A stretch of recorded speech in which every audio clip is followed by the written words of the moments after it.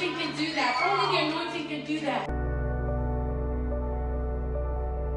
Hello, everybody. We have our sweet new friend Tiana, and she came to River Church Baltimore for the ladies' night tonight for the very first time. And I just would like you to tell everybody your experience of what happened tonight. I came in being a lesbian, and I truly got saved.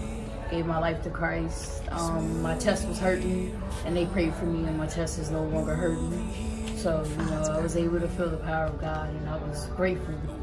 You know, So you never ever had a touch from God like that before. When they laid hands on you, what did you necessarily feel? I felt warmness, heat in my body. I felt, you know, I, I did feel, you know, the Spirit of God going through and just taking away all that pain. And when it was done, you know, my chest was feeling like how it always felt before. All that pain. Come on, Jesus. Would you recommend this for everybody who's going to see this video? Yeah, I would. Come Yeah. here, get receive a touch from heaven. Listen, it's 32 West Road, Suite 310. We hope to see you soon. Come receive a touch. Yes.